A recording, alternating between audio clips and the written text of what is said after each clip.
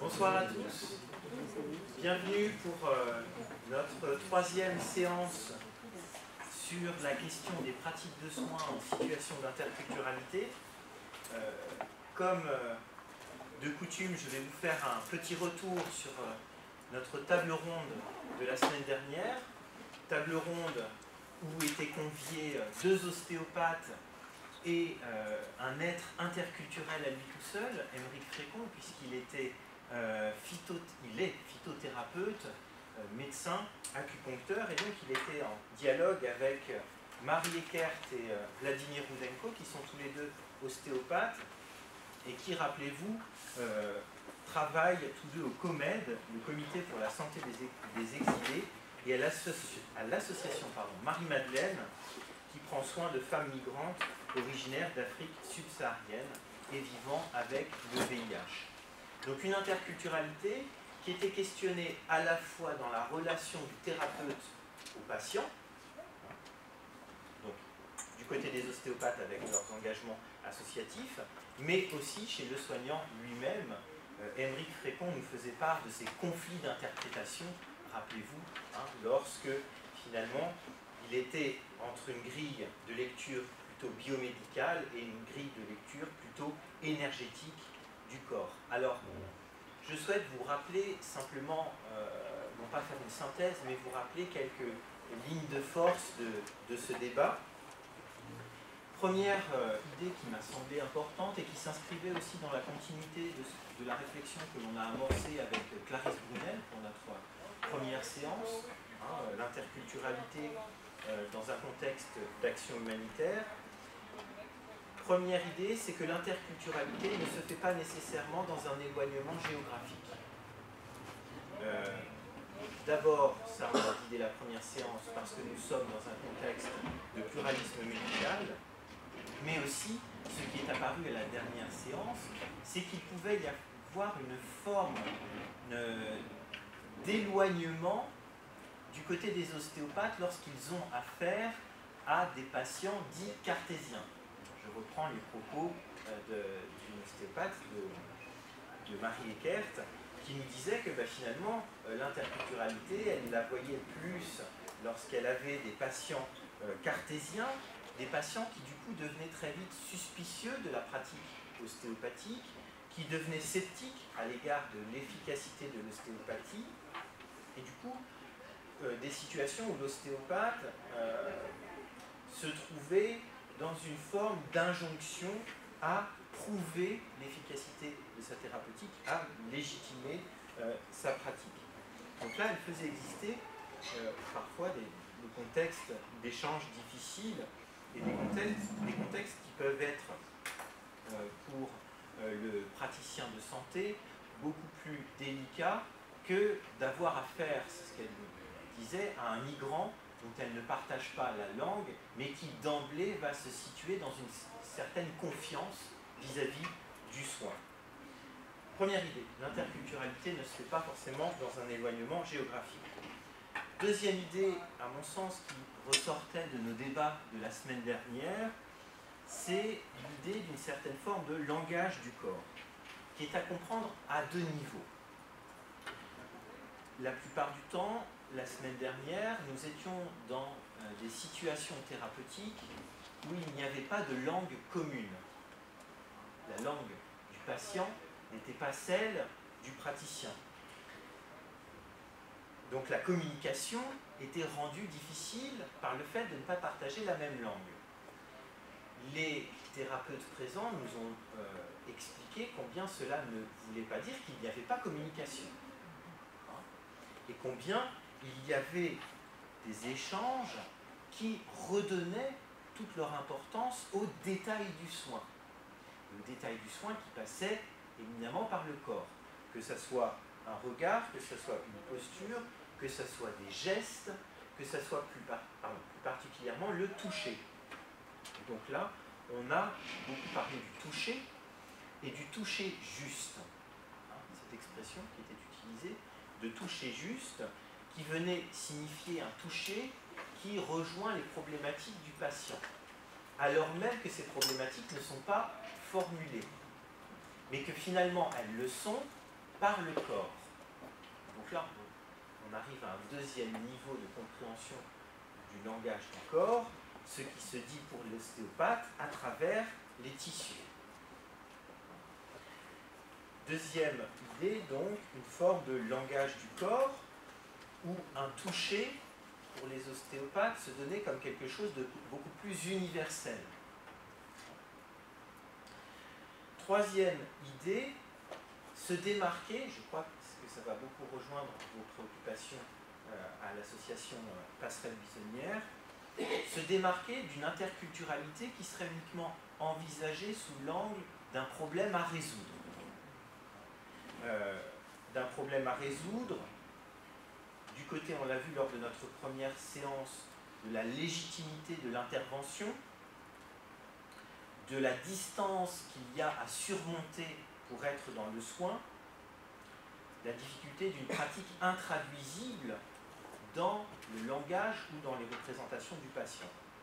Donc se démarquer finalement de ces situations d'interculturalité comme étant des problèmes à résoudre, se démarquer d'une gestion de l'interculturalité. Gestion de l'interculturalité qui est ô combien présente dans le monde du management, par exemple. L'interculturalité est quelque chose dans ce vocabulaire-là qui serait à gérer parce qu'on aurait à gérer les différences culturelles. Là, au contraire, je crois que sur ces dernières séances, particulièrement sur la dernière séance, on était du côté d'une interculturalité qui fait tremplin dans le soin. D'une interculturalité, finalement, qui se trouve une forme de mise au pied du mur de la rencontre. Euh, l'interculturalité devient lieu d'étonnement. Hein, la différence n'est pas quelque chose que l'on cherche à gérer, donc que l'on cherche à contrôler, mais la différence va devenir ce lieu d'étonnement de l'autre. Émeric Frécon avait cette belle formule, il parlait d'émerveillement de l'autre. D'émerveillement de l'autre dans le soin, il disait l'importance de se laisser dépasser par la vie. Alors se laisser dépasser par la vie, vous voyez comme du côté de notre culture, ça peut sonner comme un aveu d'incompétence. Mais comment ça, un thérapeute? Se laisserait dépasser Si un thérapeute se laisse dépasser, c'est qu'il n'est pas légitime dans l'intervention. Chez euh, Émeric Frécon, cela résonnait davantage comme une ouverture à cette altérité, et il me semble que c'est de cette altérité-là qu'il partait dans le soin. Ce qui nous a amené à considérer, plutôt dans le temps de la table ronde, que ce qui fait, ou ce qui ferait plutôt, l'efficacité du soin serait du côté du patient. Euh, du patient, on peut le décliner de multiples façons, du patient avec ses attentes, du patient avec ses projections, du patient avec ses représentations. Aujourd'hui, nous allons continuer euh, cette réflexion en écoutant Valérie Cadieu et Laure Sheba Malisset, qui n'étaient pas annoncés euh, dans notre menu, puisque vous pouvez voir figurer le tandem Valérie Cadieu et Marion Gachet. Il se trouve que Marion Gachet est souffrante et que euh, Laure Sheba Malisset la remplace au pied levé. Et donc, nous la remercions vivement d'être avec nous ce soir. Euh, Valérie et Laure qui vont nous faire quelques propositions pour une thérapeutique buissonnière. On a un peu l'impression qu'on va prendre le maquis. Valérie Cadieu est médecin généraliste. Euh, Valérie et Marion fonctionnaient en tandem parce qu'elles avaient ensemble une, euh, une expérience de travail à Médecins du Monde, où elles ont commencé à faire des consultations en binôme pour accueillir les personnes étant en situation de grande précarité. C'est de là qu'est née l'association Passerelle Buissonnière, euh, dont euh, Valérie et euh, Laure vous parleront un petit peu plus en détail, association dont la vocation est de soutenir les femmes en situation d'isolement au sortir de la maladie ou de l'exil. C'est une association qui intervient de plusieurs manières, qui intervient par l'accompagnement, par la formation, par le conseil médical. Association dont Laure Cheba-Malissé est présidente. Alors Laure Cheba-Malissé a travaillé plus particulièrement sur des récits d'asile. Je pense que c'est une dimension qui euh, va exister ce soir dans notre réflexion et qui, à côté de ça aussi, prend en charge beaucoup de formations sur la laïcité. Ça, c'est une question que nous n'avons pas encore posée, la question de la laïcité en situation d'interculturalité, dans le soin situation d'interculturalité. Nous allons fonctionner à notre habitude, nous allons écouter euh, nos intervenantes euh, en tandem euh, pendant à peu près une heure, puis nous ferons notre petite pause et nous garderons la suite pour le débat. Merci à toutes les deux d'être là ce soir. Merci euh, alors effectivement, le duo, le tandem n'est pas celui qui était initialement prévu, ce qui va générer probablement un peu d'improvisation, autant vous dire, rien n'a été répété. Euh, mais en tous les cas, merci beaucoup alors de m'avoir rejointe euh, pour être avec vous ce soir. Laurent l'a dit, euh, Passerelle Buissonnière est née d'une histoire un petit peu étonnante, un peu, singulière au sein de Médecins du Monde. Euh, Isabelle, ici présente au fond de la salle, a été témoin de, de ce que nous avons proposé à Médecins du Monde avec Marion. Marion est juriste, moi je suis médecin. Déjà, à nous deux, on fait de l'interculturalité, au moins du pluridisciplinaire. Euh, il se trouve que à Médecins du Monde, les consultations sont en grande partie dédiées à des personnes étrangères, euh, pour certaines en demande d'asile, mais pas forcément, et que le médecin que j'étais n'avait mais alors aucune notion des droits des étrangers en France, et que quand je recevais quelqu'un en consultation, je ne savais jamais s'il rentrait dans la case de ceux que j'allais pouvoir envoyer à l'hôpital si nécessaire ou pas. Enfin, c'était pour moi une espèce de forêt difficile. Euh, et j'ai du coup beaucoup demandé à Marion des conseils. Et puis le droit des étrangers, c'est un droit qui évolue beaucoup. Et du coup, c'était assez complexe pour moi. Quand je croyais avoir compris, six mois après, ça avait évolué. Et nous avons, à force de demande de conseils, inauguré des consultations en binôme. C'est-à-dire que c'était bien plus simple qu'elles viennent à la consultation avec moi. Euh, et puis, ça s'est euh, instauré comme ça. Euh, et puis finalement, ça a duré et c'était des consultations dans lesquelles nous, nous avons eu un plaisir extrême à travailler parce que cet interculturel des professions différentes était d'une richesse incroyable. C'était la première fois qu'elle travaillait avec un médecin et moi la première fois que je travaillais avec une juriste. On a découvert mutuellement énormément de choses. Et puis les patients s'y sont trouvés très bien et nos collègues aussi s'y sont trouvés très bien, nous envoyant des, situations qui étaient peut-être un peu plus complexes qu'à l'ordinaire. Voilà. Et nous avons travaillé comme ça plusieurs années en n'ayant aucune notion que nous inventions quoi que ce soit de, nouveau. C'était juste une manière de travailler qui nous allait. Marion est partie vivre sa vie professionnelle ailleurs qu'à Médecins du Monde. Moi, j'étais bénévole euh, et je suis restée euh, à Médecins du Monde encore quelques années. Nous ne nous sommes pas perdus parce qu'on avait vraiment beaucoup, beaucoup aimé travailler comme ça. Et au gré de quelques rencontres, un jour est née une bouteille et si on faisait quelque chose ensemble euh, à un moment où on se posait toutes les deux des questions sur comment nos vies professionnelles allaient s'orienter ou se réorienter. Et nous avons imaginé Passerelle Buissonnière euh, sur la base du goût commun euh, pour le travail que nous avions fait ensemble et sur la base aussi d'un constat commun dont nous avions parlé de nombreuses fois, que l'exil et la maladie produisent des choses assez similaires en termes d'isolement euh, et que finalement, il y a du commun, même si les causes ne sont pas les mêmes. Ce qu'on a retrouvé un jour où on était dans une phase où à Passerelle on avait un tout petit peu de mal. Vous me pardonnerez, je ne dirai pas forcément toujours Passerelle Buissonnière parce que c'est un peu Et c'est bien le nom de l'association et que nous nous appelons souvent entre nous simplement Passerelle. nous avions bien du mal au début, nous avons au début de notre existence, à faire entendre que nous allions accueillir et des femmes migrantes et des femmes euh, qui, avaient des problèmes de santé et que oui, c'était pas dans les mêmes cases pour les financeurs, mais que c'était pas grave, qu'on allait quand même essayer de le faire. Euh, et euh, un jour où on, essayait d'expliquer que oui, c'était important, une femme nous a dit, euh, alors qu'on lui faisait part de nos difficultés, une femme qui avait eu un gros pépin de santé nous a dit mais c'est évident, parce que la maladie c'est un exil intérieur. Moi je l'ai vécu. Et je comprends tout à fait que vous aviez des femmes migrantes et des femmes exilées. Voilà, donc l'histoire de, Passerelle s'écrit après, euh, après un partage à, à Médecins du Monde.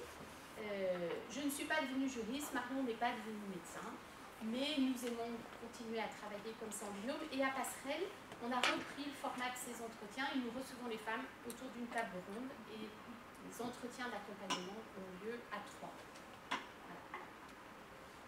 Euh, que dire pour vous présenter plus largement Passerelle Bussonnière Donc c'est une association qui est née il y a presque six ans, nous avons fêté nos cinq ans. Euh, Laure en est la présidente, Marion et moi, on sommes les fondatrices et les seuls salariés pour l'instant. Nous sommes accompagnés d'une grosse trentaine de bénévoles, 35 je crois en 2017. Euh, et les actions de passerelle donc, sont ouvertes à des femmes, comme vous l'avez entendu, seulement des femmes, parce que le constat que nous avons fait à Médecins du Monde, c'est que globalement, les familles qui arrivaient euh, le mieux à s'inscrire dans dans un travail sur la durée pour mieux trouver leur place en France, c'était quand même grâce aux femmes qu'elles le devaient, euh, qui ont, pour des raisons qui sont toujours mystérieuses pour nous, euh, une force plus grande visiblement pour, s'installer dans un pays, pour faire face aux difficultés qui sont grandes pour y trouver leur place. Bienvenue. Et que donc on s'est dit que c'était peut-être plus facile de commencer de travailler avec des femmes, puisque déjà on allait travailler avec des publics euh, relativement différents, donc des femmes migrantes et des femmes qui ont connu la maladie, pas forcément la longue maladie au, sens de la sécurité sociale, mais la maladie qui se déploie dans le temps. Euh, et l'idée, c'est de leur proposer un temps d'accompagnement pour élaborer un projet professionnel. C'est ça le cœur de ce que nous savons faire à Pascal. On déploie ça selon trois grands axes. Un accompagnement individuel que Marion et moi assurons. Et donc, je vous disais, autour d'une table ronde, nous recevons chaque femme individuellement.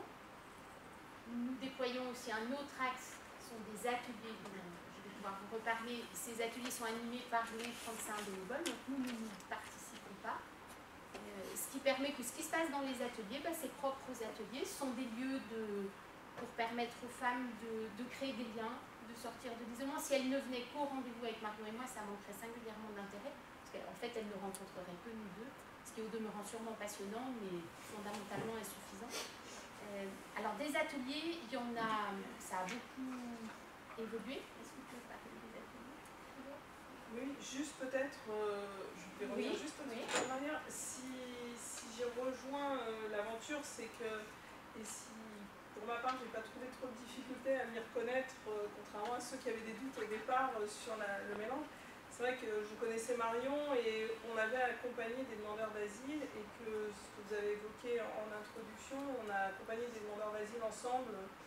On a commencé sans aucune expérience et on avait pu expérimenter là, alors euh, euh, en se construisant, parce qu'on était étudiante à ce moment-là, euh, aussi cette force d'être à plusieurs quand on ne savait pas forcément comment faire et qu'on a appris avec les personnes.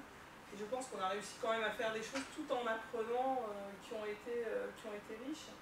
Et l'autre point que vous retrouvez en filigrane avec ce que, ce que Valérie a dit et, ce que je vais prolonger sur les, ateliers, c'était deux points qui me semblaient très importants. Cette notion du temps, du temps long euh, et qui était vraiment le, point commun euh, aussi sur ces euh, deux situations qui étaient à l'origine du projet de l'association. C'est-à-dire que le temps des procédures, comme le temps du soin, sont des temps entre parenthèses, des temps souvent ignorés, sur lesquels il ne se passe pas beaucoup de choses, et sur lesquels par contre se déconstruisent beaucoup de choses. Et de travailler sur ce temps-là et dans ce temps-là, euh, c'était quelque chose d'assez riche. Dans, dans, la l'association dans laquelle on était avec Marion et qui nous, nous, nous sommes occupés de demandeurs d'asile algériens, on a vu des personnes qui ont été sur des procédures pendant 5 ou 6 ans, puisqu'à l'époque c'était un asile un peu particulier qui était l'asile territorial pour les Algériens, et on a vu des personnes se dégrader véritablement dans ces temps d'attente euh, interminables, euh, dans lesquels on n'existe qu'entre parenthèses, on a à peu près que le droit d'être ici, et en même temps rien droit de se projeter, où tous les rêves se déconstruisent aussi avec ce temps euh, qui, est, qui est extrêmement pesant. Et la deuxième dimension, c'est euh, ce lien entre l'approche individuelle et collective, euh, qui était déjà, alors je suis par ailleurs aussi, je me suis engagée par le premier, cette première expérience au collectif Alger à la pile, où il y avait déjà cette question dans l'accompagnement sur le logement, qui est une association qui s'occupe du, du, mal logement, sur, ce, sur ces expériences qui ont été celles des années 80 notamment, où on était beaucoup plus dans l'accompagnement collectif et où on est passé un moment dans le tout individuel. Et je trouvais que dans Passerelle, c'était ça aussi qui était riche, c'est-à-dire de remettre ces deux choses euh, en même temps et en parallèle. Parce que euh, ça n'était ni une association qui se proposait d'être un, énième guichet avec de l'accueil individuel, euh, ni l'obligation de tout partager, mais justement de trouver une espèce d'alchimie euh, entre les deux et où les personnes qui viendraient, l'idée de la table ronde, de travailler ensemble, il n'y a pas un guichet et des personnes en face, de se co-construire, c'est vraiment ce qui, pour ma part, a fait qu'en tout cas, j'ai eu aucune difficulté à comprendre ce qu'elle voulait et à, les rejoindre. Donc sur ces temps collectifs qui ont permis d'associer des personnes qui ont adhéré à l'idée, donc finalement il y a plein de gens à qui ça a parlé assez vite, euh, ces ateliers qui vont euh, être dans le domaine du soin pour certains, en tout cas du prendre soin de soi, euh, dans, dans la question de, de, comment se projeter dans une vie professionnelle. alors je peux vous les citer, on a notamment dans le domaine du prendre soin, il y a un atelier santé médicaments, il y a un atelier manger-bouger, euh, il y a des ateliers de méditation en pleine conscience, euh, il y a de la réflexion plantaire, donc c'est des choses très différentes qui en tout cas permettent de tisser des liens euh, entre les femmes, entre les bénévoles et, les femmes qui sont accueillies, et de donner aussi un sens après au rendez-vous individuel, parce que tout ça permet et participe en tout cas de, de cette reconstruction ou de cette co-construction. Euh, il, y a, également euh, des aspects, euh, je dirais, qui sont arrivés dès le départ, avec, pour celles qui en avaient besoin, du français langue étrangère, mais pas du tout dans les, dans les formats habituels, c'est-à-dire qu'il peut y avoir un cours pour deux, pour trois, et puis d'un coup il y en a plus, et puis il y a celles qui viennent, et comment aussi celles qui maîtrisent le mieux participent à transmettre à celles qui sont plus en difficulté, et pas seulement il y a l'apprenant et, et euh, et, le sachant, mais que vraiment on est dans, ce, dans ce partage. Euh, certaines ont voulu mettre des cours d'anglais à un moment donné euh, pour pouvoir regarder, parce que dans leur pays c'était l'anglais qui était la, deuxième langue. il, y a eu, il y a des ateliers, un jardin partagé qui permet à la fois d'allier les questions aussi bien-être, de santé, et en même temps on produit quelque chose, du chant la lecture à voix haute, euh, des ateliers d'échange de savoir-faire créatif. Alors, et, même à chaque fois, quand on est sur des choses qui peuvent paraître plus prosaïques, comme les échanges, euh, l'atelier de savoir créatif, on n'est pas que dans ça. C'est-à-dire, c'est aussi comment reprendre confiance, comment euh, transmettre ce qu'on sait alors qu'on pense qu'on finalement on ne savait plus rien. donc, il n'y a rien qui est pris au hasard et en même temps ça se fait de manière pas prévisionnelle, c'est-à-dire qu'on n'a pas défini à l'avance quels seraient les ateliers ni les objectifs de ces ateliers. Euh, il y a eu des propositions, elles ont rencontré euh, un écho favorable, euh, ben, ça se développe. Des femmes étaient parfois réticentes, ah non je ne veux pas aller chanter, j'aime pas chanter. finalement, si j'y retourne parce que je me rends compte que ça m'apporte plein de choses, puis finalement j'avais peur mais que il n'y a rien d'obligatoire et, euh, en même temps, bah, on peut aller tester, on s'inscrit. Euh, après, une fois qu'on s'inscrit dans la durée, euh, on essaie aussi de travailler à ce que du coup l'engagement s'inscrive sur le long terme. Mais en même temps, il y a cette idée de liberté, il n'y a pas une prescription, vous devriez aller faire celui-ci, celui-ci ou celui-là, tout est affiché, donc du coup, il y a aussi des choses qui se co-construisent. et en dehors. Après, je ne sais pas, je l'informatique. il y a, parce que derrière, comme il y a cette perspective aussi de pouvoir repenser, de se projeter dans un projet professionnel, parce que ça, c'est une des caractéristiques, notamment pour les femmes migrantes. Euh, quand vous arrivez en France, quel que soit votre passé, parce qu'on a tendance à oublier, euh, quand on arrive euh, en France, on vous voit comme un migrant ou ou un immigré qui n'aurait pas eu de vécu avant. C'est-à-dire, en gros, ce qui, le, caractérise la personne, c'est le fait qu'elle soit ici et on continue de la qualifier comme ça. Donc on a des personnes qui sont arrivées avec des métiers, avec des parcours de vie divers et variés, et arriver ici, il faudrait tout oublier. Et quand euh, la question juridique est réglée, la question des papiers un peu dépassée, bah, le constat qu'on a tout fait ou tous fait euh, quand on est auprès de ces publics, c'est que pour les femmes, on va leur proposer d'être aide-ménagère, euh, assistante de vie. pour les hommes, si on suivait des femmes de ménage, pour les hommes, on, proposerait généralement vigile. Hein. Donc c'est assez stéréotypé. Et on ne se pose pas la question alors qu'on a euh, des femmes qui ont des savoirs, euh, qui ont des savoir-faire, qui ont parfois fait des études, qui ont des diplômes pour certaines, d'autres. Et ça, c'est très peu pris en compte. Et donc de pouvoir retravailler euh, sur ce temps d'attente, bah, finalement, vous vous projetez dans quoi, vous avez envie? Faire quoi, et de s'autoriser même à se projeter, c'est quelque chose qui produit énormément de bienfaits en tout cas. Donc euh, du coup, l'informatique arrive là-dedans, c'est-à-dire que dans la construction de ce projet, il faut aussi euh, voir, rédiger un CV, rentrer dans les canons de ce qu'on peut attendre ici, euh, dans cette perspective d'inscription. Et puis, il est assuré par des étudiantes. Voilà, et il y a aussi des étudiantes qui sont en prépa et qui sont très attachées à cet atelier. Il y a une transmission des plus jeunes à des plus âgés, parce que globalement, les femmes qui fréquentent l'atelier sont plutôt plus âgées et des plus âgés qui transmettent aussi leur expérience de vie et qui, euh, qui sont un vrai bol d'air pour ces étudiantes qui cravachent euh, toute la semaine, puisqu'en prépa, elles ont bien de travail, et qui disent euh, qu'elles s'ouvrent à des réalités qu'elles ne connaissent pas et, qu'elles découvrent des femmes dont elles sont complètement émerveillées. Il y, a, il y, a, très beaux échanges dont nous sommes témoins sur la pointe des pieds, puisqu'on n'y participe pas. et beaucoup de gratitude de la part des femmes de voir des petites jeunes qui prennent du temps sur leurs études pour pour venir à leur rencontre. Donc c'est vraiment une belle occasion de rencontre cet atelier. Voilà, et puis cheval, je crois que dans la petite liste, le seul dont j'aurais pas parlé, c'est l'autodéfense. Et la danse. Et la danse, euh, donc, euh, qui d'une manière différente euh, pose la question du corps que vous avez évoqué en, en, introduction, même s'il y a d'autres échanges. La réflexologie plantaire aussi, c'était quelque chose qui, du coup, au départ, surprenait qu'est-ce qu'on allait faire. Et là, on est par exemple dans un atelier d'échange de pratiques, c'est-à-dire qu'elles bénéficient de, cette pratique-là et en même temps on leur apprend à pouvoir le faire elles-mêmes.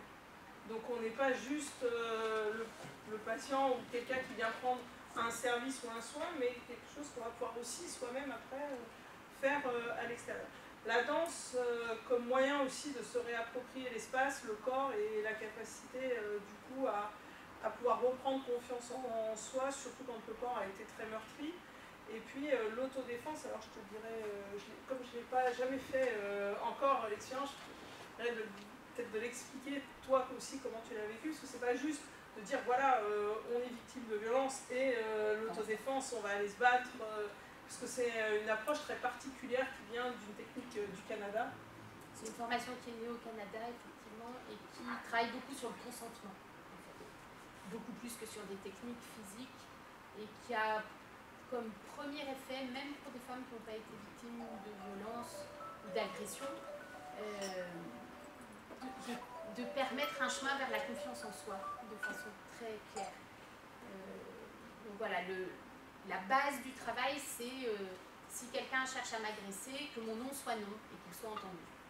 Et à quoi est-ce que je suis d'accord? À quoi puis-je consentir? Et quand je dis non, comment est-ce que je peux le dire de manière à ce que ça soit entendu? Et puis il y a euh, des techniques pour apprendre à se dégager si jamais la personne montre vraiment agressive et voir des techniques pour la trouver sur place et avoir le temps de partir en courant si vraiment elle est très insistante. Et c'est un atelier qui a la particularité d'être ouvert à des femmes de l'extérieur passerelle et du coup on mixe les publics euh, avec aussi beaucoup de bonheur on mixe les âges, puisque là, la prochaine session a lieu samedi et il y a un certain nombre de mères qui viennent avec leurs filles. Voilà. Euh, Et puis, je, voulais juste ajouter les ateliers santé, médicaments et manger, bouger, qui sont des ateliers autour du, quelque part, du prendre soin, euh, sont aussi de, très belles occasions d'aller chercher les, je sais pas si c'est de l'interculturel, mais en tout cas les traditions, comment on soigne dans ton pays, euh, avec, quelle, avec quelle plante, le, mal de gorge en Algérie, avec des plantes ça se soigne comment, et puis dans le Caucase ça se soigne comment, et il y a plein d'échanges. Elles ont fait un atelier où elles ont fabriqué des cosmétiques. Euh, donc elles ont fabriqué des sticks à lèvres, mais alors ça a été l'occasion d'échanger sur les sur, euh, et elles ont produit un petit guide où elles ont recueilli les recettes les unes des autres. Euh, voilà, et qui, on a entendu beaucoup rire ce jour-là. Il y avait, y avait vraiment des échanges sur, ah ben nous, chez nous, on ne fait pas comme ça. Et ça, c'est un petit peu le, j'allais dire, un peu la marque de fabrique de Passerelle. Passerelle, c'est pas un guichet où on vient euh, faire une activité comme on irait au centre social, où on fait des choses fort bien. Et c'est un lieu qu'on vient investir, habiter, dans lequel on prend part, et où il n'y a pas vraiment des sachants et des gens qui ne savent pas. Il y a euh, des femmes qui sont prêtes à échanger ce qu'elles savent et à, partager leur savoir, leurs compétences, leurs désirs. Voilà, et ensemble on avance. Ça, c'est des, ateliers. Et puis très vite, il y a des grands ateliers sont plus ouverts sur la cité. Un, ce sont des balades urbaines qui permettent aux femmes de s'approprier la ville par les pieds. Euh, et c'est pas anodin parce qu'elles font tout à pied.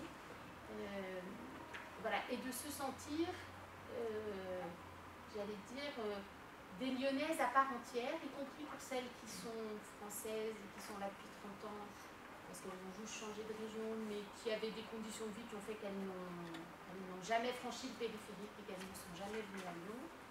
Euh, et puis pour celles qui arrivent d'un pays étranger et qui sont déconcertées, parce que voilà, c'est pas, n'ont pas de repères. Et l'idée, c'est que demain, quand elles seront au travail, elles puissent avoir un minimum de patrimoine culturel commun avec leurs collègues.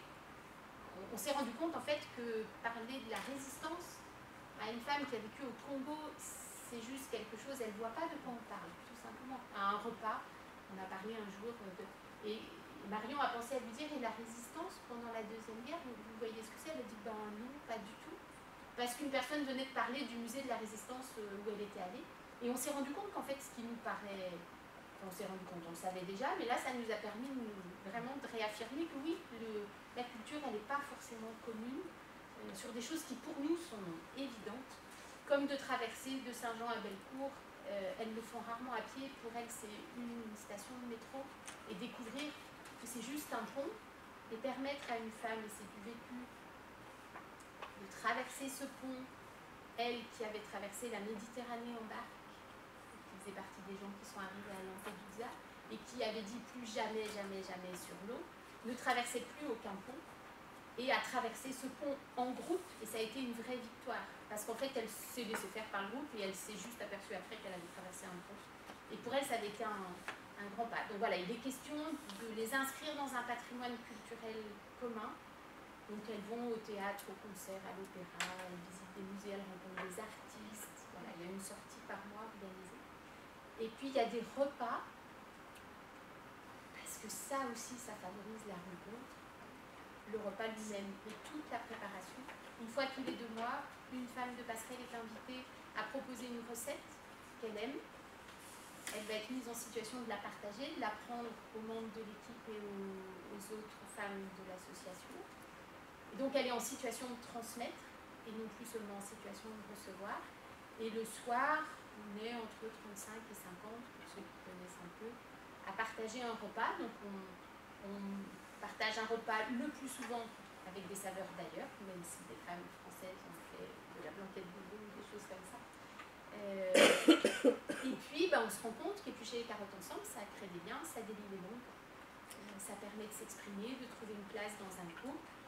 Et puis, ça permet aussi, euh, le soir, on est placé à table, donc si d'aventure vous avez envie de venir avec quatre amis, on ne vous mettrait pas à quatre ou six à la même table, on vous mélangerait. On ne sait pas qui sont les femmes accompagnées, qui sont les bénévoles, on ne sait pas mais on joue juste le jeu de la rencontre et le pari c'est qu'on va repartir riche de ces rencontres et ça marche et ça marche et pour les femmes c'est un temps très important euh, d'abord parce que ça leur permet de mesurer qu'elles peuvent s'absenter de chez elles sur un temps long toute une journée, ce qui n'est pas forcément facile. et puis c'est un temps où elles, où elles se rendent compte que la, la rencontre est facile. C'est aussi un temps où elles peuvent faire part de leur projet professionnel. Et si l'une a le désir d'être coiffeuse et que je sais que votre belle-sœur, madame, qui vient manger est coiffeuse, et eh ben on va vous mettre à la même table et vous allez pouvoir échanger sur euh, ce que c'est que le métier de coiffeuse en, France. Voilà. Donc là, je ne sais pas si on nage dans l'interculturel, mais on, est au cœur de la rencontre et, les repas, c'est. Voilà, j'enfonce des portes ouvertes, c'est des lieux qui sont des moments très facilitateurs de la rencontre.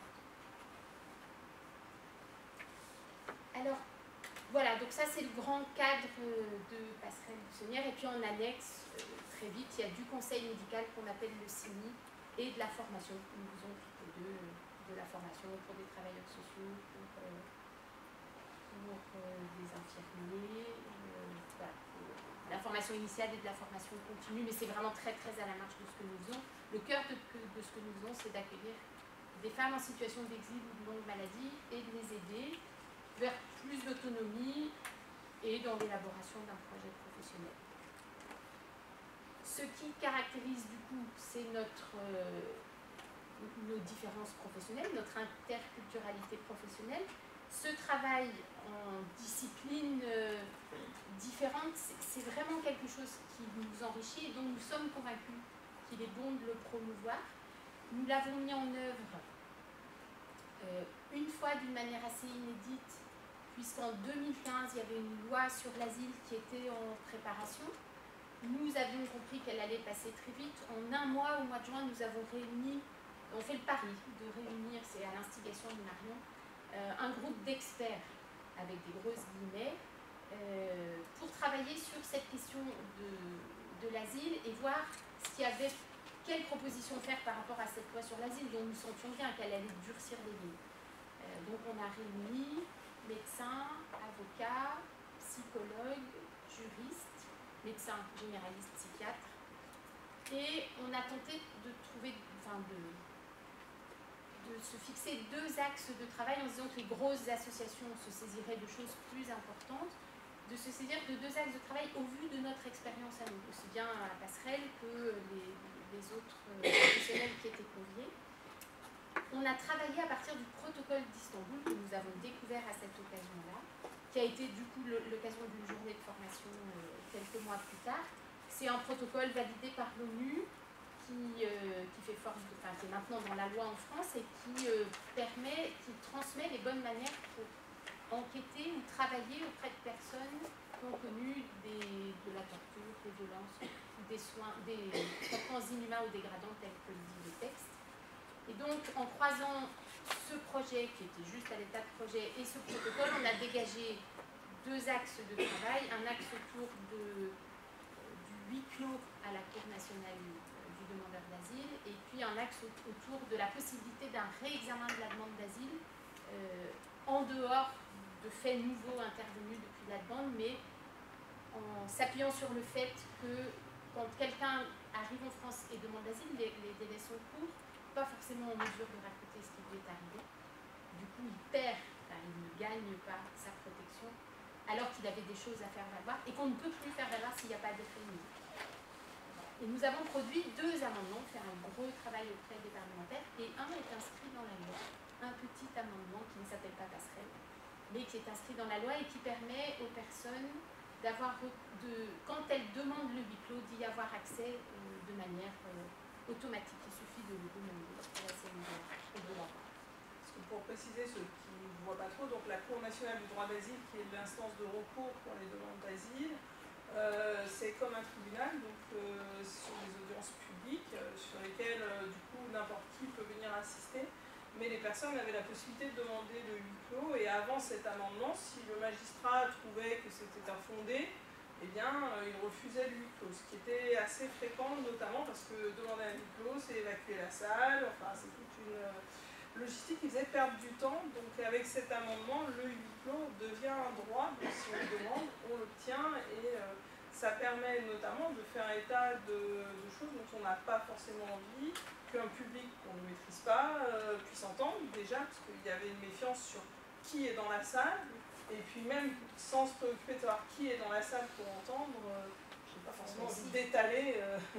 Et puis il y avait des, il y avait quand même des femmes qui avaient finalement à choisir entre exposer les violences sexuelles, enfin les viols dont elles avaient été victimes, et, ou et, du coup avoir des choses à faire valoir du côté de la demande d'asile, ou ne pas le dire, parce que le dire, c'était risquer d'être répudié, en le disant devant le mari.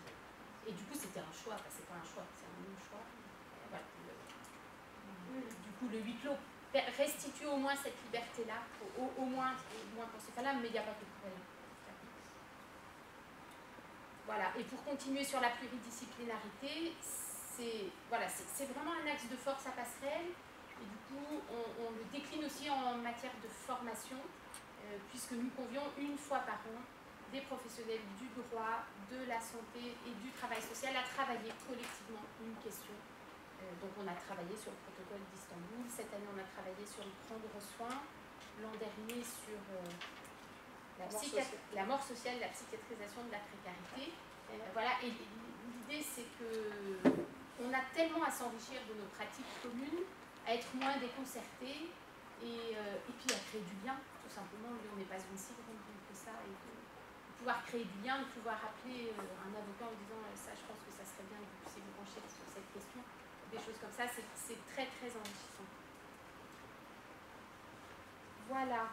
Alors, on s'était dit qu'on vous parlerait aussi d'un des une des caractéristiques de, ce qu'on fait à Passerelle, c'est le temps long. Euh, Laure l'a souligné en introduction. Le temps long, c'est nous dire a priori qu'on ne sait pas combien de temps va durer l'accompagnement. C'est l'annoncer pour une durée de 2 à 12 mois et accepter qu'il dure 4 ans. Euh, voilà. C'est aussi accepter qu'une femme parte au bout d'un mois parce qu'elle a trouvé ce qu'il lui fallait et qu'on l'a juste euh, réorientée. Euh, mais voilà, c'est large. et l'idée, c'est de permettre que ce soit le temps pour chacune. C'est aussi possible de différer. Et, je pense, là, je, revois ce que j'avais noté à vous dire. Une femme qu'on a accueillie, qui était encore en soins, qui avait entendu parler de nous, qui était très intéressée pour rentrer euh, à Passerelle, mais qui était en soins euh, quasiment tous les jours. Et, qui du coup était bien plus préoccupée par sa santé à ce moment-là que par son avenir professionnel, ce qui était complètement légitime, et à qui nous avons dit, après l'avoir écouté, nous vous proposons on était au mois d'octobre, nous septembre, nous proposons, peut-être pourriez vous, nous rappeler au printemps. Comme ça, il y aurait du temps qui aurait passé en termes de soins, vous y verrez peut-être plus clair sur votre disponibilité. Le 20 mars, je vous promets, jour du printemps, elle a appelé en disant c'est le printemps, je rappelle, et je veux toujours venir.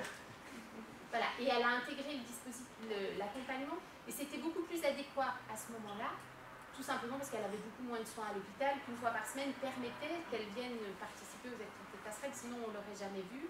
Et elle se serait bien demandé ce qu'elle faisait à passerelle. L'idée c'était qu'il y ait une certaine euh, cohérence euh, pour qu'elle puisse venir. Le temps long, c'est aussi permettre à une femme d'être en retard ou absente à un rendez-vous pendant un an. C'est du vécu. Ça, ça nous a posé beaucoup de questions. C'est une femme qui avait une vie assez fracassée, et qui euh, venaient aux ateliers avec souvent du retard, mais dans, un atelier c'est moins compliqué. Enfin, on a des animateurs d'ateliers qui sont très souples, on peut arriver en retard, on peut partir à l'avance, c'est pas très gênant. Pendant un an, elle nous a planté nos rendez-vous. Soit elle venait pas, soit elle arrivait cinq minutes avant la fin du rendez-vous, sachant qu'on en avait derrière. Et on, avait l'intuition, qui n'était pas du tout formalisée, que, que c'était bien qu'on essaie de tenir. On a pourtant été parfois très agacés on avait un peu de choses à faire et qu'on savait jamais quand elle allait arriver, donc on, attendait en faisant trois bricoles, euh, mais pas en s'installant sur euh, à faire un dossier important ou des choses comme ça. On a un conseiller scientifique, ce que nous n'avons pas dit, qui nous aide à réfléchir, à élaborer la proposition, qui nous a dit elle est en train de voir jusqu'où vous êtes capable de ne pas l'abandonner. Donc continuez donc comme ça, un jour elle va s'arrêter. Et de fait, un jour, elle s'est arrêtée et maintenant, cette femme appelle quand le métro a 4 minutes de retard pour dire vais 4 minutes de retard. Maintenant, elle qui a des nuits très difficiles et qui ne pouvait honorer des rendez-vous que l'après-midi, a pu honorer des rendez-vous à 11h du matin, puis à 10h. Et nous sommes maintenant, nous proposons systématiquement des rendez-vous à 9h du matin. Elle vient et elle a pu, là, entre septembre et décembre, suivre une formation euh, proposée par Pôle emploi où elle était prise tous les jours, la journée et elle a assuré de bout en bout. Donc on se dit, la fécondité d'oser prendre du temps, alors nous c'est sûrement un grand luxe, mais pour nous c'est indispensable d'oser prendre ce temps-là et de, de se dire qu'à un moment ça va porter du fruit. Alors, parfois c'est long, mais, euh, mais, mais c'est très fructueux finalement pour les femmes. Le temps long aussi, c'est prendre des détours. Alors ça, on s'appelle peut-être pas buissonnière pour rien. On annonce aux femmes qu'en accompagnement, dans les temps où on est à trois, on ne fait ni médecine ni droit bien qu'elles aient en face d'elles un médecin et une juriste. Et il se trouve qu'on en fait quand même. Alors, elles ne sont pas là pour ça, euh, mais quand euh, l'une d'entre elles vient de recevoir un document pas très sympathique de la préfecture qu'on appelle OQTF, Obligation à quitter le territoire français, par exemple, ou une convocation au tribunal par rapport à son droit au séjour, je pense que vous imaginez assez bien que à ce moment-là, le projet professionnel, le métier de rêve, c'est plus tout à fait d'actualité. Donc nous faisons ce détour parce qu'est son actualité à ce moment-là, euh, dans le champ de nos compétences, de manière à, tenter de trouver, alors soit expliquer ou tenter de trouver des, pas forcément des solutions, mais en tous les cas des pistes. Donc on le fait pour ce qui est euh, du droit, on le fait pour ce qui est de la santé, c'est-à-dire voilà, si une femme arrive avec un, compte-rendu médical auquel elle n'a rien compris et qui l'affole complètement, ça nous est arrivé une fois, on a, vu une dame arriver qui ne voulait pas venir au rendez-vous, qu'on avait convaincu de venir. Elle avait juste de l'arthrose cervicale. Elle avait très très mal au cou, donc elle avait, son médecin l'avait envoyé passer une radio et elle ne savait pas ce que c'était que l'arthrose et elle était persuadée qu'elle risquait un coup du lapin et qu'elle allait mourir là si jamais elle loupait une marche dans l'escalier. Euh, et donc bah, j'ai pris la peine, enfin juste le temps de, de vous expliquer. Et ensuite on a pu continuer euh, le temps de l'accompagnement. Donc nos rendez-vous d'accompagnement, ils sont, nous les préparons, comme les animateurs d'ateliers les préparent, et de façon, euh, les animateurs d'ateliers passent beaucoup de temps à préparer, mais il y a toujours de la place pour l'imprévu et il y a souvent de l'imprévu. Voilà, je ne sais pas si ça s'appelle interculturalité, mais en tout cas c'est faire droit au temps long et à ce qui est l'actualité de l'autre à ce moment-là.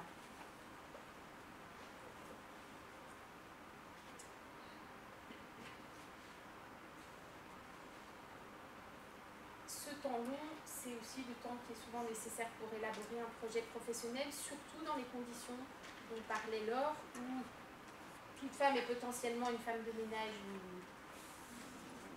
l'aide à domicile, qu'elle ait été professeure d'Issakabou, dentiste à Alger ou, ou, cuisinière ou couturière dans son pays.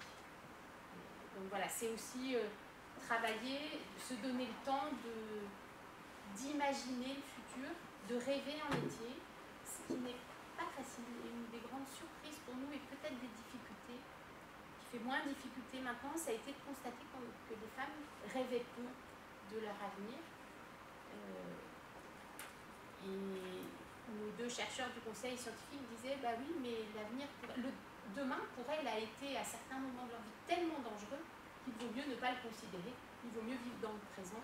Euh, ça évite, euh, évite de, l'angoisse qui pourrait survenir parce que demain, il est arrivé qu'il soit extrêmement menaçant.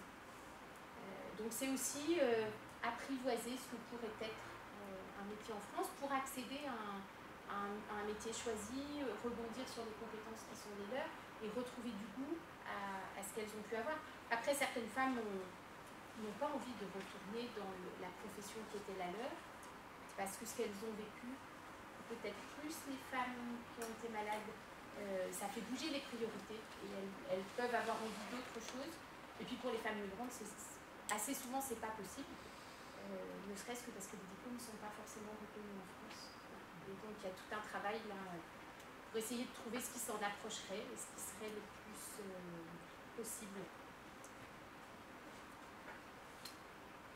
Est-ce que tu veux prendre la parole sur autre chose Pour l'instant, ça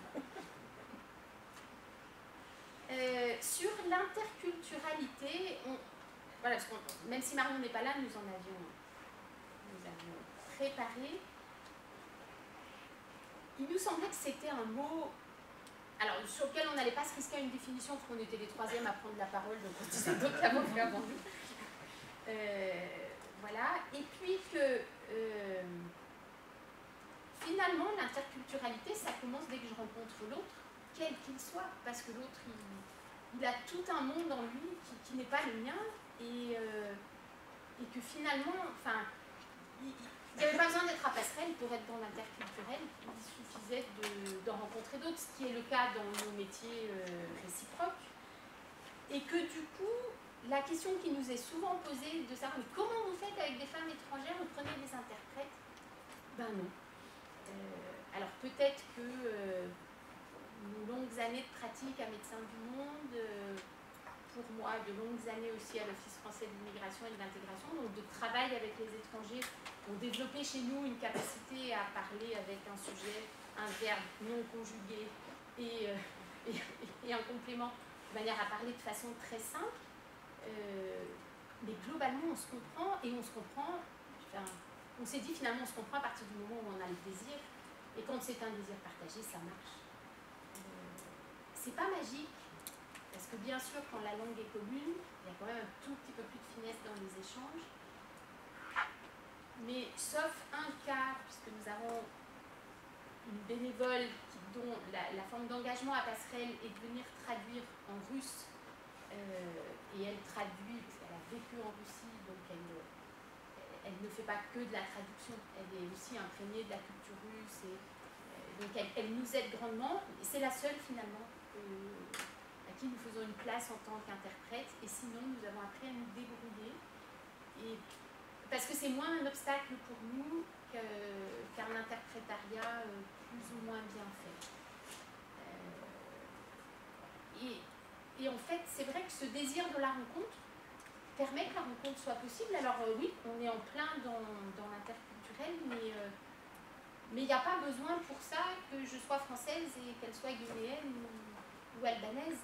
Et, euh, et, au jeu des différences, on se disait, finalement, pouvons-nous dire de façon certaine qu'elles sont plus prononcées entre un Lyonnais et un Algérois qu'entre un commerçant lyonnais du centre-ville et un éleveur de brebis ardéchois ou un, un, artisan pêcheur brestois, par exemple. L'interculturel, on imagine forcément que c'est avec quelqu'un d'étranger, mais il y a, on vit dans des mondes très différents en étant voisins. Euh, du coup, ça ne nous apparaît pas comme étant. Euh, c'est quelque chose qui ne fait pas problème, qui peut faire question, qui peut nous surprendre. Nous aimons euh, nous laisser surprendre mais, mais ce n'est pas une difficulté. Peut-être moins une personne qui arrive très en retard pendant longtemps. Et puis on s'est dit aussi que c'était important de faire le distinguo entre ce qui relèverait du culturel et ce qui relève, euh, somme toute, de bien autre chose.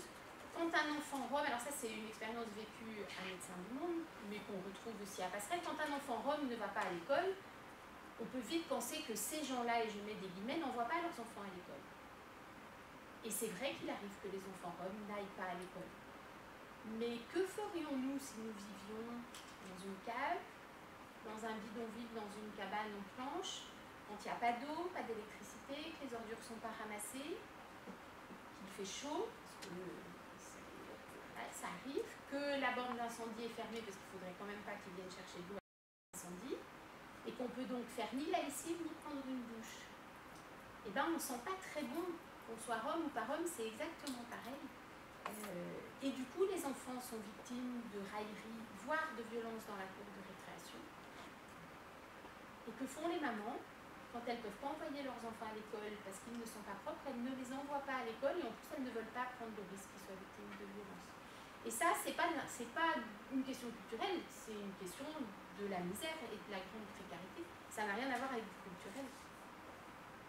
C'est la même chose, et Laure le soulignait tout à l'heure, assez vite on a échangé deux mots au téléphone en se disant que c'était elle qui allait venir.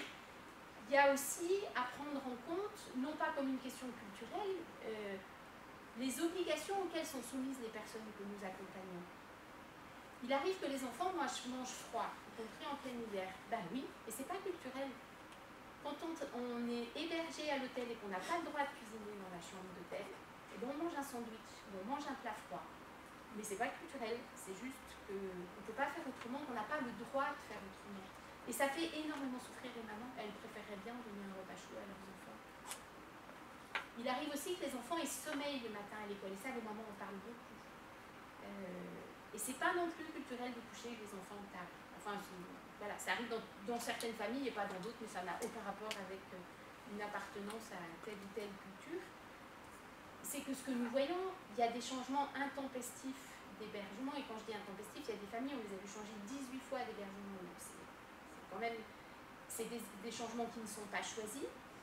Et la plupart du temps, les familles choisissent un point d'ancrage qui est l'école des enfants parce que ça c'est stable, parce que c'est un lieu de socialisation, et puis parce que c'est pour les enfants. Et du coup, on a des familles qui font une heure et demie de trajet chaque matin et chaque soir pour emmener les enfants à l'école. Alors oui, les enfants sont fatigués parce qu'ils se lèvent très tôt. En fait, ce qu'il faudrait souligner, c'est l'exploit qui est accompli, que chaque jour les enfants soient à l'école à l'heure, et ça pendant des mois. Euh, voilà, donc ça c'est des petits exemples pour, euh, pour situer que nous, on aime bien essayer d'aller voir ce qu'il y a sous, voilà, sous l'enfant qui mange froid ou qui, est fatigué, parce qu'il y a des réalités que nous ne soupçonnons pas et, qu'il est bon d'interroger tout, simplement. Et ces situations-là, elles provoquent aussi, ou en tout cas elles occasionnent, et c'est peut-être aussi, je, repense dans la dernière formation qu'on a fait, une des interventions de Jean-Claude Métro, euh, que vous avez fait venir, euh, c'est que du coup il y a une forme d'infantilisation des personnes quand elles sont dans ces, procédures. Je donne un exemple, il y a actuellement des familles qui sont logées dans un, ancien hôtel Formule 1, donc vous imaginez un Formule 1, vous voyez tout ça, à quoi ça ressemble, dans les monts du Lyonnais. Euh, après 18h, plus de possibilité de cuisiner chaud puisqu'il n'y a plus d'accès à la cuisine de l'hôtel puisque le travailleur social a fini ses heures de travail. personne ne pense déjà à les décaler éventuellement, et quand bien même euh, les décaler, c'est juste envisager qu'on a affaire à des adultes, enfin à des gens qui vivent ailleurs, qui ont des familles, qui savent aussi s'organiser, qui pourraient tout à fait euh, en autogestion aussi gérer. Mais non, ça c'est pas possible. Donc on va avoir des gens qui ont euh, parfois traversé pendant trois ans euh, des pays euh, dans des situations catastrophiques, qui ont du coup eu bien plus de courage et d'autonomie qu'on en aurait tous réunis, mais qui arrivés ici se retrouvent ballottés, jamais décisionnaires de, de, choix qui sont très importants, et même à la limite d'accepter d'aller dans l'ouest lyonnais où des responsables peuvent dire éventuellement que c'est très joli parce que c'est très verdoyant, mais il n'y a pas de bus, c'est pas grave. Euh, et qu'en même temps, on ne va pas imaginer trois secondes qu'on a affaire à des adultes euh, tout à fait euh, conscients et qui pourraient très bien s'organiser, qu'on peut prendre ces paris-là et puis créer les conditions d'une autogestion qui pourrait tout à fait fonctionner. Et ça, c'est en permanence. Alors Jean-Claude Métro évoquait en Suisse le cas d'un jeune homme qui avait des médicaments qui est devenu mineur et qui a traversé comme ça euh, plusieurs pays, mais par contre, pour ses prescriptions médicales, ces médicaments, il fallait les laisser à l'éducateur et il devait quémander ses médicaments du matin, du midi du soir. Et euh, tout d'un coup, en disant que là, il n'était plus du tout autonome et qu'il n'était plus en capacité de savoir quand est-ce qu'il avait euh, la possibilité de prendre.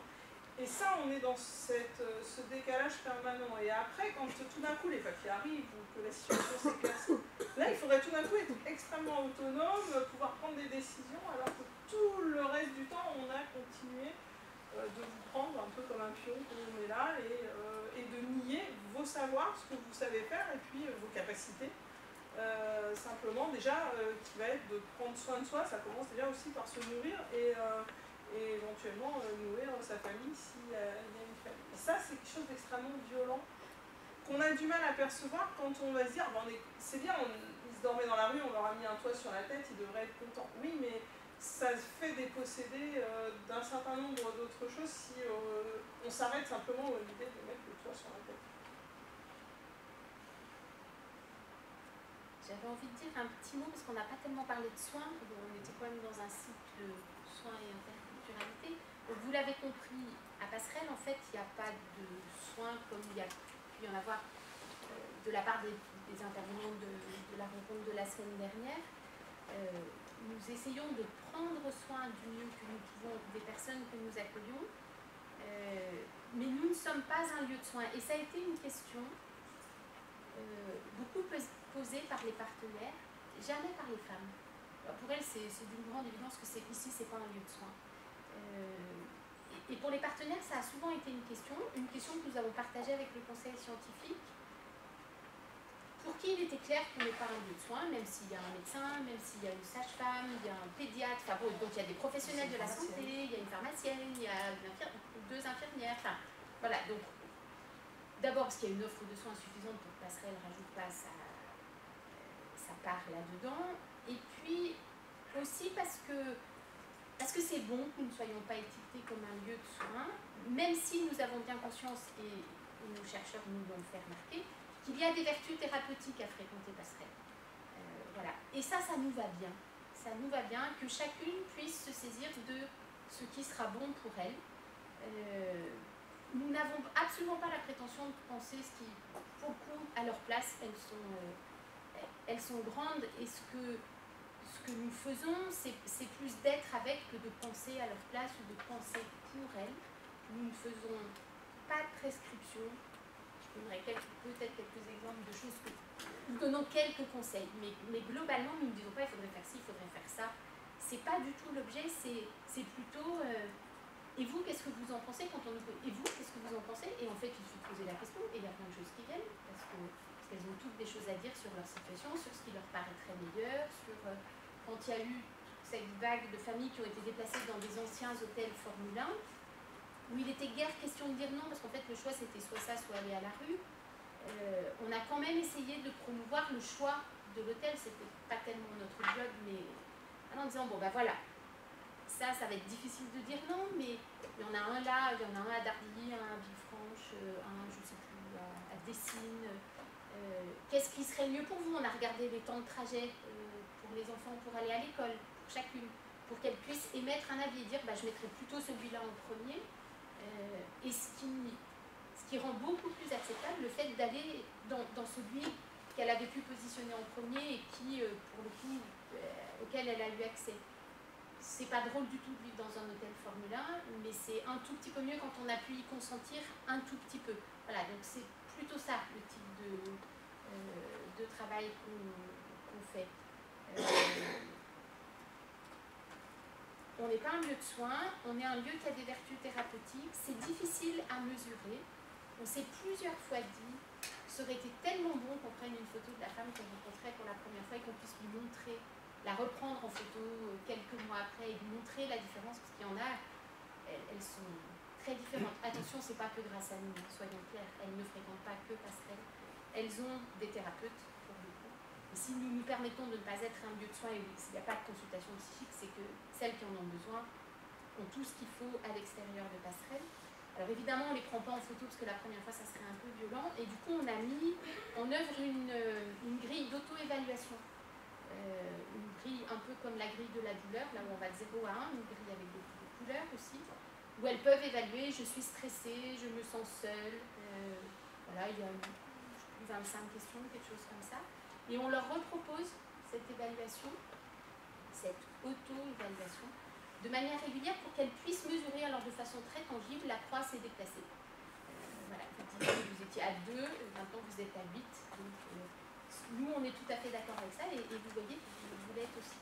Euh, donc ça, c'est aussi une manière de ne pas être un lieu de soins, de prendre soin, puis de leur donner l'autonomie là-dessus, de, leur permettre d'avoir la main.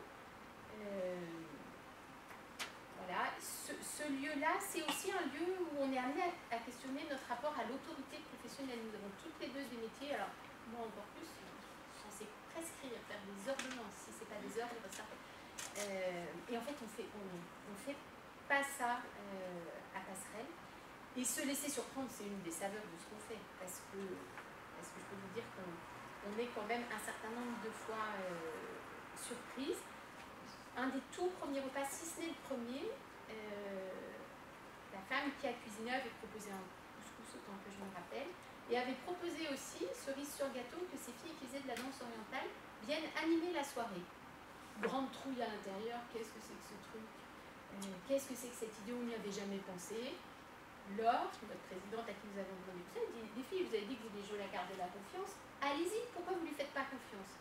Et on a eu euh, un groupe, enfin c'était leur atelier de danse, elles se sont déplacées, non seulement les deux jeunes filles de cette dame, mais aussi tout le groupe, qui nous ont animé la soirée de façon admirable, ce qui était très bon pour les convives, euh, mais ce qui surtout fut excellent pour la, mère et ses deux filles, parce que ça a retricoté des liens extrêmement détendus, ce que nous n'avions vu venir ni les unes ni les autres, ce dont les filles nous ont parlé pendant très longtemps, parce qu'on les a revues à d'autres repas en disant comment elles avaient pu voir leur maman de façon différente ce soir-là.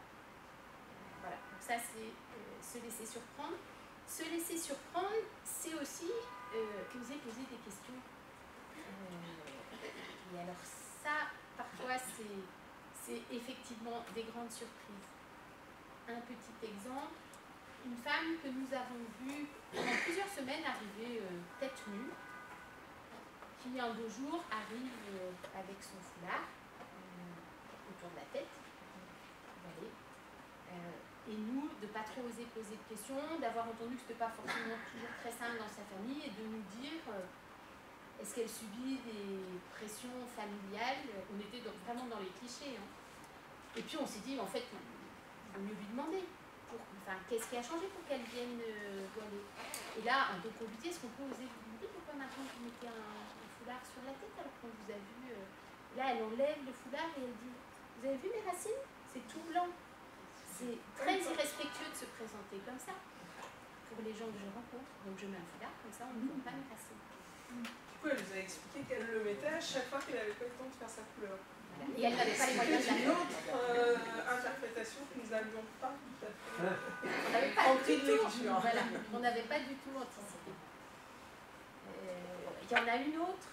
Euh, alors ça, c'est Marion qui le raconte. C'est quelque chose qu'elle a vécu avec une femme avant Passerelle. Elle, une femme qui, qui était arrivée en France avant son mari, qui, qui avait obtenu l'asile avant son mari, qui du coup pouvait la rejoindre et qui souhaitait, enfin, qui vivait en foyer, arrive le plus souvent quand on est demandeur d'asile et au début, où on a obtenu le statut, et euh, qui n'envisageait pas que son mari puisse arriver en foyer. Elle avait le sentiment qu'elle ne l'accueillerait pas correctement, et qui a vraiment fait le forcing pour qu'on lui trouve un, logement. Et donc, euh, il a été défini le périmètre dans Lyon où elle aimerait vivre, et par chance, trouver un appartement qui correspondait exactement à ça. Et quand elle est revenue au foyer après la visite de l'appartement, elle a dit non, je suis désolée, je ne vais pas prendre l'appartement. Stupeur des travailleurs sociaux qui avaient mis le paquet, qui dit, bah, qui étaient tellement contents de ce qu'ils avaient trouvé. Et donc, un, de poser la question, et de dire, mais est-ce qu'on peut vous demander pourquoi? Et c'est pas possible de vivre dans un appartement où il n'y a pas l'eau courante, dit la dame. Et en fait, il n'y avait pas l'eau parce que l'appartement était inoccupé, donc l'eau avait été fermée, effectivement. Il a suffi de lui expliquer qu'en fait il y avait l'eau à tous les étages, qu'il n'y avait pas de problème et qu'il suffirait de rouvrir l'eau quand ils... Et donc ils ont pris l'appartement, ils y vivent toujours. C'était, je, crois, il y a une quinzaine d'années. Voilà, c'est des petits exemples pour dire que c'est toujours intéressant de chercher à savoir pourquoi, euh, pourquoi une femme euh, réagit comme ça, et pas qu'une femme, hein, c'est vrai dans toutes nos relations, mais en tous les cas dans le cadre de Passerelle, c'est des choses dont nous avons appris à ne pas nous priver de questionner et, de dire est-ce que je peux oser vous poser cette question? Vous avez tout à fait le droit de ne pas répondre si vous souhaitez, si vous souhaitez pas répondre. Euh, c'est pas de la curiosité, c'est juste pour mieux comprendre. Et c'est toujours très intéressant parce que ça nous, ça nous fait voyager dans des lieux qu'on n'avait pas soupçonnés qui sont souvent d'une très grande simplicité, en fait, sont juste la vie de tout le monde, comme la nôtre. ça, ça peut rejoindre la question de, de l'interculturalité parce que c'est vrai que la façon dont c'est conçu le travail social et c'est en ça que Passerelle est un pas de côté et n'est pas dans le travail social euh, traditionnel. Bon, je fais de la formation à côté et il se trouve qu'à un moment j'ai fait de la formation dans des offices HLM euh, sur les cultures immigrées, sur l'interculturalité et que dans ces foyers de l'Ain, euh, il y avait notamment une communauté Hmong et que les personnels qui étaient là dans la formation me disaient alors voilà, est-ce que vous savez pourquoi les Hmong mettent parfois des fils dans leur salon et puis euh, font ceci, cela? J'avais une série de questions. Alors moi, la culture monde, je ne connaissais pas du tout. Et donc, assez bêtement, à un moment, je leur dis, bah, écoutez, je m'enseignerai pour la séance d'après, mais est-ce que vous leur avez demandé? Ah, on n'a pas osé. De la même manière qu'ils n'osaient plus rentrer dans les appartements parce qu'on leur demandait d'enlever les chaussures et qu'en tant que professionnels, ils n'avaient pas envie de leurs chaussures. Qu'ils refusaient un thé euh, quand on leur proposait parce qu'ils avaient l'impression de se faire acheter comme fonctionnaire et qu'on n'avait pas le droit d'accepter un cadeau. Et que tout ça finissait par créer des espèces de murs euh, et de frontières infranchissables dans l'interculturel. Il suffisait parfois juste de poser la question. Et, euh, revient après, me dit J'ai posé la question, en fait, c'est lié au Nouvel An. Et euh, la personne était très contente de m'expliquer euh, pourquoi il y avait ce fil rouge, euh, etc. Mais quelque part de se dire, bah, j'ose pas poser l'action, soit je parais bête, etc. Ou, même je vais franchir une familiarité que je m'interdis professionnellement. Et ça, c'est une évolution aussi d'une certaine forme de travail social qui n'était pas comme ça il y, a, il y a quelques temps, mais qui s'est cloué un peu aussi dans des procédures. Et passerelle permet aussi, euh, je trouve ça, parce qu'on est dans un pas de côté, parce qu'on n'est pas tout à fait dans le travail social, on n'est pas tout à fait. Enfin, on n'est dans aucune case. ce qui, du coup, n'a pas toujours été simple et n'est pas toujours simple pour, euh, pour arriver à, justement euh, faire reconnaître par les, partenaires, notamment institutionnels. Donc, c'est à la fois un lieu d'expérimentation, mais qui ne s'affiche pas comme lieu d'expérimentation. et ça, c'est très précieux aujourd'hui aussi d'avoir quelque chose comme ça ni on prétend faire mieux que les autres euh, ou à la place des autres, c'est avec euh, tout ce qu'il y a à côté et d'avoir cette espèce de confort et cette richesse de pouvoir justement ne pas être dans une catégorie ou une case.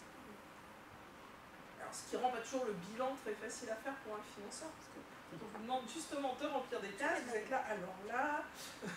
Donc on prend des pas de côté aussi pour répondre. Nous, on aime bien dire qu'on ne on se refuse rien, qu'on on, ose. Voilà, tout n'est pas possible, mais que euh, on, ne s'interdit rien. Quand une femme pose une question, qu'on ne sait pas répondre, ben on, cherche ensemble la réponse. Voilà. Euh, ce qui nous amène à faire des choses euh, assez inédites qu'on n'avait pas pensé faire. par exemple, permettre à une femme. ça, ça a été un des plus grands moments passerelles